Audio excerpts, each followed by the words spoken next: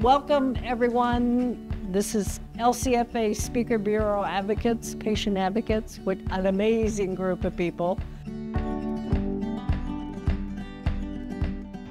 Which one of us do you think has been diagnosed with lung cancer?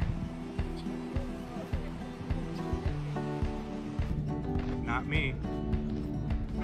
Me. Me.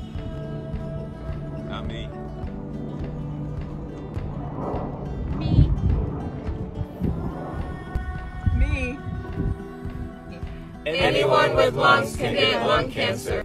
We're making a difference for lung cancer, raising awareness and learning how to use new tools to help educate people about lung cancer. Living with lung cancer, what does that really mean?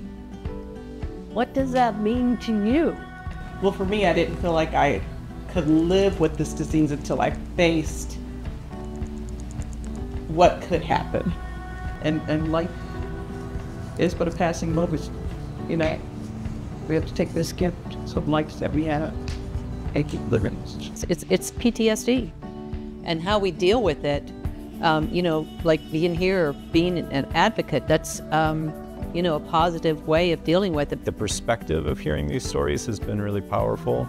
It's just wonderful to be able to interact on a more personal level and in a less intimidating environment. I really like that LCFA creates that opportunity. We're all working towards the same thing, which is to improve outcomes for our patients. I think that one of the things that LCFA does well is it's kind of put us all together. Thank you guys for, for putting this together.